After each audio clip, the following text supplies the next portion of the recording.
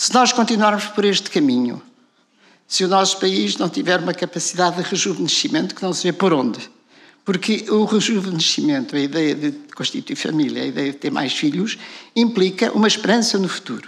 E essa esperança não existe se não existem os condimentos necessários para que essa esperança possa desenvolver-se.